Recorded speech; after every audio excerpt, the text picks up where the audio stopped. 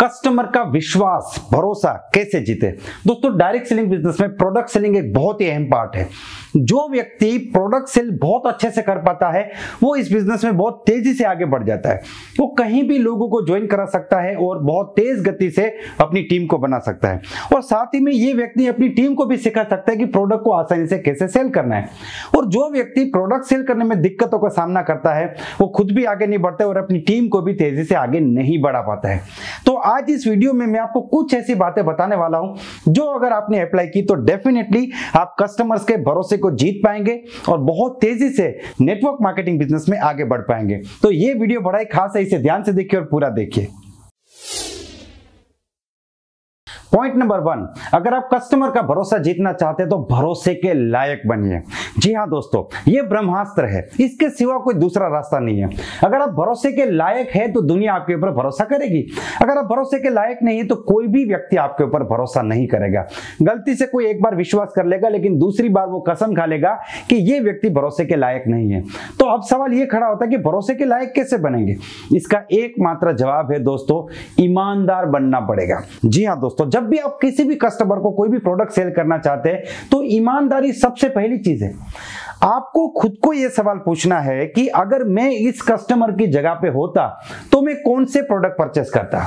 किस मात्रा में प्रोडक्ट परचेस करता? क्या इस कस्टमर को इस प्रोडक्ट की रिक्वायरमेंट है? कई बार हम सिर्फ़ अपना काम निपटाने के लिए कस्टमर्स को प्रोडक्ट दे देते, चाहे उसको ज़रूरत है या नहीं है। और उस टाइम पे तो हम उसे मोटिवेट करते हैं, वो व्यक्ति प्रोडक्ट ले भी लेता है। लेकिन कभी ना कभी उसको पता चल जाता है कि इस प्रोडक्ट की मुझे कोई भी ज़रूरत नहीं थी और इस व्यक्ति ने अपना फ़ायदा निकालने के लिए मुझे प्रोडक्ट दे दिया। तो उसके बाद वो व्यक्ति आपके ऊपर विश्वास कभी नहीं करेगा।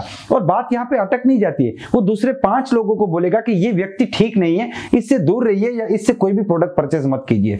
तो ये ऐसे टेस्ट है कि जब भी आप किसी भी व्यक्ति को कोई भी प्रोडक्ट सेल करना चाहते हैं तो उसकी जगह पे खुद चले जाइए और खुद को सवाल पूछिए कि अगर इस व्यक्ति की सिचुएशन में मैं होता तो मैं कौन कौन से प्रोडक्ट परचेस करता? पहला सवाल तो क्या मुझे इस प्रोडक्ट की ज़रूरत है?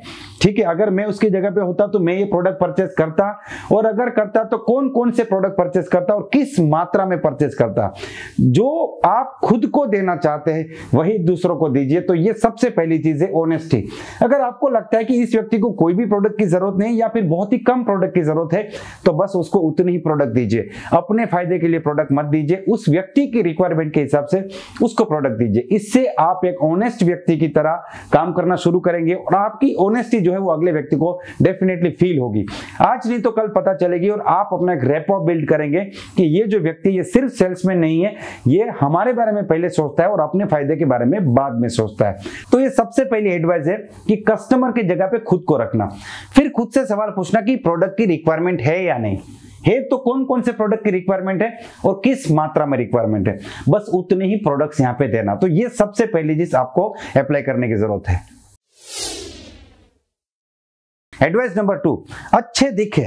यहाँ पे एक लाइन में आपको बताना चाहूँगा कि लोग आपको सुनते बाद में देखते पहले। है जी हाँ दोस्तों, मैं रिपीट करूँगा। लोग आपको सुनते बाद में है, देखते पहले है। आपको देख के उसको लगना चाहिए कि आप भरोसे के लायक हैं। आपको अच्छा ड्रेसिंग करना बहुत ज़्यादा ज़रूरी है, दोस्तों। अगर सेल्स के बिज़नेस में दूसरों को विश्वास दिलाना है तो अच्छा दिखना बहुत ज़्यादा ज़रूरी है। यहाँ पे खुद के ऊपर थोड़ा खर्चा कीजिए। आप अपने ड्रेस कोड के ऊपर बेटर हो जाइए। आप व्यवस्थित, अच्छे दिखने चाहिए। मैं ये नहीं कहता हूँ कि आप बहुत ही डैशिंग दिखने चाहिए। आप लाखों रुपए का खर्चा कर दीजिए। आप बीस हज़ार की घड़ी पहनिए। नहीं, मैं ये नहीं कह रहा हूँ। लेकिन मैं ये कह रहा हूँ कि आप प्रोफेशनल दिखिए, आप अच्छे दिखिए, आपके कपड़े अच्छे होने चाहिए। अगर आप जिस प्रोडक्ट की मार्केटिंग करते हैं या जो प्रोडक्ट लोगों को सेल करना चाहते हैं उस रूप से आपका ड्रेसिंग होना बहुत ज़्यादा ज़रूरी है। दुनिया में कोई भी व्यक्ति जब आपको देखता है तो वो 10 सेकंड के अंदर आपको पूरा ऊपर से नीचे तक स्कैन कर लेता है। और स्कैन करने के बाद उस व्यक्ति को लगता है कि इस व्यक्ति के पास कुछ ऐसा है जो मेरे पास नहीं है, या फिर इसको सुनना चाहिए, इसको सुन के मुझे कोई फ़ायदा होगा तो ही लोग आपकी बात सुनेंगे, वरना लोग आपको इग्नोर कर देंगे। और बहुत से लोग जब इग्नोर हो जाते हैं तो वो अपनी कंपनी की, अपने प्रोडक्ट्स की गलती निकालते हैं, अपने प्लान की गलती निकालते हैं। लेकिन मैं आपको ये कहना चाहूँगा, सबसे पहले आप है, उसके बाद में आपकी कंपनी है, उसके बाद आपके प्रोडक्ट्स है। तो आप ही रिजेक्ट हो गए तो वो व्यक्ति आपकी कंपनी या प्रोडक्ट के बारे में बिल्कुल जानना नहीं चाहता। इसीलिए अच्छे दिखना, ये दूसरी रिक्वायरमेंट है। आप खुद को आईने में देखिए, और खुद को एक सवाल सवाल पूछिए कि अगर ऐसा दिखने वाला कोई व्यक्ति मेरे पास आके कोई बात करे, मुझे कुछ बेचने की कोशिश करे या फिर मुझे कोई अपॉर्चुनिटी दिखाने की कोशिश करे तो क्या मैं इस व्यक्ति की बात सुनूँगा? आप खुद उस व्यक्ति की बात सुनने के लिए तैयार होगे जो आईने में दिख रहा है? अगर नहीं तो आपको आईने में यह भी दिखेगा कि आपको क्या क्या चेंजेस करने की ज़रूरत है। तो दूसरी एडवाइस है, अच्छे दिखे, बढ़िया दिखे कि लोग आपकी बात को सुनना चाहे, क्योंकि लोग आपको देखते पहले, सुनते बाद में एडवाइस नंबर थ्री अपने प्रोडक्ट्स के लिए पागल ना हो जाए, अपने कस्टमर्स के लिए पागल हो जाए। बहुत से लोग ये ट्रेनिंग देते हैं कि अपने प्रोडक्ट्स के लिए पैशन क्रिएट कीजिए। लेकिन मैं आपको कहता हूँ प्रोडक्ट्स के लिए पैशन क्रिएट मत कीजिए, अपने कस्टमर्स के लिए पैशन क्रिएट कीजिए। आपके लिए ज़्यादा इंपॉर्टेंट क्या है? आपके प्रोडक्ट्स या आपका कस्टमर मैं आपको कहता हूँ आपका customer so don't be product oriented person be the people oriented person आपको लोगों को महत्व ज़्यादा देना है। कुछ लोग क्या करते हैं, अगर किसी ने गलती से आपके प्रोडक्ट्स के बारे में कुछ उल्टा सीधा बोल दिया तो आप उस व्यक्ति को इतना झाड़ देते हैं कि वो व्यक्ति ज़िंदगी में आने वाले सात जन्म तक आपकी बात नहीं सुनने वाला है। तो यहाँ पे मैं आपको कहना चाहूँगा कि आप लोगों के ओरिएंटेड बनिए, यानी कि पीपल ओरिएंटेड बनिए। लोगों को महत्व दीजिए। आप लोगों के लिए एक्साइटेड हो जाइए। आप लोगों को महत्व दीजिए। आपके लिए प्रोडक्ट्स इंपॉर्टेंट नहीं है, लोग इंपॉर्टेंट है। क्योंकि ये जो बिज़नेस है, ये लोगों का बिज़नेस है। एक बार अगर आप एक अच्छे व्यक्ति की इमेज क्रिएट कर देंगे तो बहुत से लोग आपके साथ जुड़ेंगे। तो आप लोगों की बात सुनिए, उनकी कंप्लेन सुनिए, उनके फीडबैक सुनिए और उस फीडबैक पे काम कीजिए। बहुत से लोग क्या करते हैं? एक बार प्रोडक्ट सेल कर दिया, पैसा आ गया, बात खत्म हो गई। उसके बाद उस व्यक्ति की बात नहीं सुनते। अरे भाई यहाँ पे तो काम हो चुका है। वो, कहते हैं ना कि भाई इस गन्ने में से तो जूस निकल चुका है। अब इसमें इसका कोई काम नहीं है। लेकिन दोस्तों आप प्रोडक्ट सेल करने के बाद जब फीडबैक लेते हैं और कंप्लेंट्स को सुनते हैं सुनने से ही आधा प्रॉब्लम खत्म हो जाता है। बहुत से लोग इसीलिए खुश है क्योंकि आपने उनकी बात सुनी। तो सुनिए और सुनने के बाद उस प्रॉब्लम के ऊपर काम भी कीजिए। अब देखिए प्रोडक्ट सेल तो हो चुका है। अब उस प्रॉब्लम के ऊपर काम करने से आपको और पैसा नहीं मिलने वाला लेकिन आपका रेपो बिल्ड होगा।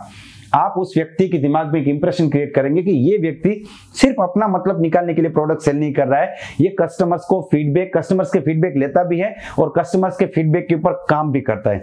इसीलिए पीपल ओरिएंटेड बनिए, लोगों की बात सुनिए, अपने प्रोडक्ट्स के लिए पागल मत हो जाइए, अपने लोगों के लिए पागल होने की आदत डालिए, आप एक शानदार व्यक्ति की इमेज क्रिएट करेंगे।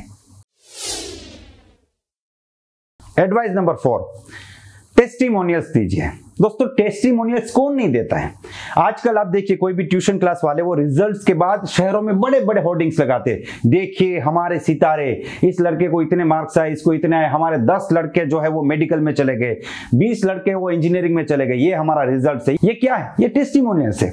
आज आप देखिए कि ऑनलाइन गेमिंग वाले भी टेस्टिमोनियल्स दे रहे हैं कि इस गेम से इस औरत ने इतना पैसा कमाया, ये भाई साहब ने इतना पैसा कमाया, ये गाँव का व्यक्ति खेतों में काम करते करते गेम खेल रहा है, लाखों रुपया कमा रहा है। उसकी कहानी सुनिए। ऋतिक रोशन साहब आके बोलते, उन्हीं की जुबानी, उन्हीं की कहानी। तो ये क्या ये टेस्टिमोनियल है। दुनिया में हर व्यक्ति टेस्टिमोनियल देता है। आप किसी डॉक्टर के पास चले जाए तो उसके हॉस्पिटल में भी वहाँ पे फ़ोटोज़ लगे हुए कि देखिए, ये पहले ये बीमारी थी, अब ये ठीक हो चुकी है। ठीक है तो टेस्टिमोनियल्स हर व्यक्ति देता है। सेल्स में टेस्टिमोनियल्स बहुत ज़्यादा ज़रूरी है। ये बिल्कुल ऐसा है कि जैसे आप कोर्ट में केस लड़ रहे फाइट कर रहे, आप एक वकील है, आप कितना भी चिल्लाएँगे, कितनी भी ताकत लगाएँगे जज को पता है कि आप एक प्रोफेशनल वकील है, ये तो आपका काम है। लेकिन जैसे ही आप एक गवाह पेश कर देते हैं जज उसकी बात सुनता है, क्योंकि गवाह जो है, वो कोई प्रोफेशनल नहीं है, वो कोई सीखा सिखाया आदमी नहीं है। उसकी बातों में सच्चाई की महक आती है। तो जब कोई तीसरा व्यक्ति आके बोलता है कि ये व्यक्ति जो बोल रहा है, वो बिल्कुल सही बोल रहा है, या फिर मैंने देखा था, इस व्यक्ति ने ऐसा किया, एक ऐसा व्यक्ति जिसको उस केस से कोई लेना देना नहीं है तब जज को वो सबसे ज़्यादा असर करता है। तो आप अपने प्रोडक्ट्स के बारे में टेस्टिमोनियल्स रखिए। आप सौ बात बोल लीजिए अपने प्रोडक्ट के बारे में। आपका कस्टमर सोच रहा है कि आप तो बोलने वाले हैं क्योंकि आप तो सेल करने हैं। लेकिन आपके पास दो से तीन वीडियो है, ऐसे लोगों के जिनको इस प्रोडक्ट से फ़ायदा मिला है तो वो लोगों की बातें आपके कस्टमर को सबसे ज़्यादा असर करती है। इसीलिए टेस्टिमोनियल्स का हमेशा इस्तेमाल करें। आपके पास बढ़िया से टेस्टिमोनियल्स होना बहुत ज़्यादा ज़रूरी है। जिस भी प्रोडक्ट को आप सेल करना चाहते हैं, उसके टेस्टिमोनियल्स अपने पास रखें। और आपकी टीम में जिस भी व्यक्ति को अच्छे रिज़ल्ट मिले, उसके टेस्टिमोनियल्स वीडियोस भी बनाए और उसको अपने व्हाट्सएप ग्रुप में भी ज़रूर शेयर करें, जिससे कि और लोग भी इसका फ़ायदा उठा सके। तो चौथी एडवाइस है कि टेस्टिमोनियल्स यानी कि अपने गवाह ज़रूर पेश करें। एडवाइस नंबर फाइव सिर्फ़ अच्छा बोले, यानी कि कभी भी किसी के भी बारे में बुरा ना बोले। खास करके दूसरी कंपनी या दूसरे प्रोडक्ट्स के बारे में कभी भी गलत ना बोले। अगर आपको कोई भी व्यक्ति कहता है कि ये प्रोडक्ट तो ऐसा है, इस कंपनी का प्रोडक्ट ऐसे, आप उसकी बात सुनिए। और अगर आपको लगता है कि वो बात सही है तो आप उसकी भी तारीफ़ कीजिए। क्योंकि आपका कस्टमर सोच रहा है कि आप अपने कॉम्पिटिटर की तारीफ़ नहीं करेंगे, उसके बारे में गलत बोलेंगे। जो व्यक्ति दूसरे के बारे में गलत बोलता है, दूसरों की लाइन छोटी करने की कोशिश करता है, वो व्यक्ति छोटा हो जाता है। इसीलिए कभी भी अपने कॉम्पिटिटर के बारे में गलत ना बोले, दूसरी कंपनी के बारे में, दूसरे प्रोडक्ट्स के बारे में गलत ना बोले। अगर आपके पास इंफॉर्मेशन नहीं है तो आप ये कह सकते हैं कि मुझे उनके बारे में जानकारी नहीं है, मुझे हमारे प्रोडक्ट्स के बारे में जानकारी है, मैं इसके बारे में बातचीत कर सकता हूँ। लेकिन यहाँ पे एक साइकोलॉजी ब्रेक करने की बात है। अगर आपका कस्टमर कंपेयर कर रहा है या दूसरे प्रोडक्ट्स की बात कर रहा है, आप उसके बारे में नेगेटिव बोलते हैं तो वो सोच रहा है कि हम एक, आप एक आम आदमी, एक बहुत ही कॉमन सेल्समैन है, ठीक है? लेकिन अगर आप उससे विपरीत काम करते हैं तो आप उसकी साइकोलॉजी को ब्रेक कर देंगे। और वो आदमी सोचेगा कि कुछ भी हो, लेकिन ये आदमी अच्छा है क्योंकि हर चीज़ में अच्छी चीज़ें देखता है पॉजिटिव चीज़ें देखता है। तो आपकी एक पॉजिटिव इंप्रेशन यहाँ पे क्रिएट होगी, एक अच्छी इंप्रेशन क्रिएट होगी। जो एक रेपो बिल्ड करने में मदद करेगी और उस व्यक्ति के सामने आप बार बार जा सकते हो और उसको बार बार प्रोडक्ट सेल भी कर सकते हैं। तो कभी भी किसी के भी बारे में बुरा ना बोले, किसी कंपनी के बारे में, किसी प्रोडक्ट के बारे में कभी भी बुरा बोलने की ज़रूरत नहीं है दोस्तों। दोस्तों, आपको ये पाँच एडवाइस में से कौन सी एडवाइस सबसे अच्छी लगी, वो इस वीडियो के कमेंट सेक्शन में जाके ज़रूर बताइए और कौन सी एडवाइस आप अप्लाई करने वाले, वो भी ज़रूर बताइए। मिलते हैं अगले वीडियो में। Wish all the best be the best